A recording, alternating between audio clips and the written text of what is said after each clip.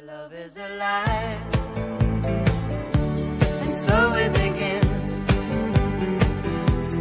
Foolishly laying our hearts on the table, stumbling in. Our love is a flame.